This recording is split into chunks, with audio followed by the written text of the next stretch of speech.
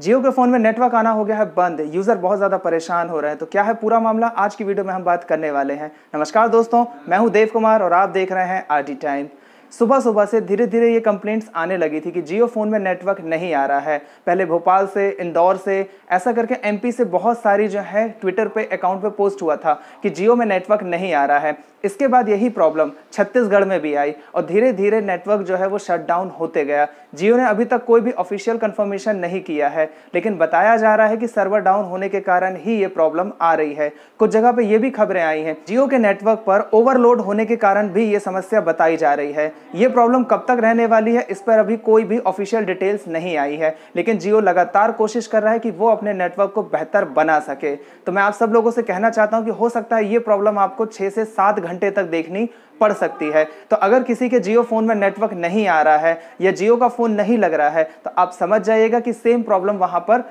चल रही है। ट्विटर पर लोग तरह तरह के सवाल पूछ रहे हैं लोगों को लग रहा है कि कहीं ऐसा तो नहीं कि सिर्फ़ उनका बस नेटवर्क बंद हुआ है। तो ऐसा बिल्कुल भी नहीं है। वैसे उम्मीद की जा रही है कि शायद ये प्रॉब्लम केवल मध्य प्रदेश और छत्तीसगढ़ तक ही सीमित रहेगी। उससे पहले ही उसे रिकवर कर लिया जाएगा। लेकिन अगर रिकवर नहीं होता है तो ये चौबीस घंटे जियो यूज़र्स के लिए बहुत ज़्यादा भारी पड़ने वाले हैं।